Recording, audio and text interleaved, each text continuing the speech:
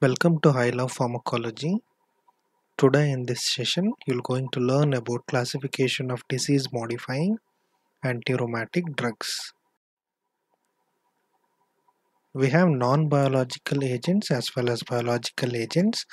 Under non-biological agents you have methotrexate. It is an antifolate drug. Hydroxychloroquine. It is anti-malarial drug. Sulfa, Sulfasalazine belongs to salicylate. Azathioprine belongs to purine synthase inhibitor. We have cyclosporin which is a calcineurin inhibitor. Minocycline it is a 5-lipoxygenase inhibitor as well as it belongs to tetracycline group of antibiotics. We have leflunomide which is a pyrimidine synthase inhibitor. Auranofin gold compound and next we have penicillamine which is a chelating agent.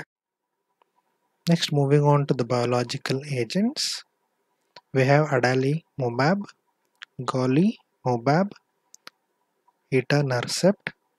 All these three are tumor necrosis factor alpha antagonist. Next we have infliximab which is a IgG TNF receptor fusion protein. Next we have certolizumab which is a Fab fragment towards TNF alpha. Next we have abatacept which is a T cell co-stimulation inhibitor. Next we have rituximab which is a antibody against CD20. Next we have anakinra which is a interleukin 1 receptor antagonist.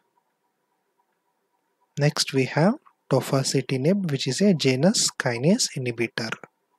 Next we have tocilizumab which is a interleukin 6 receptor antagonist.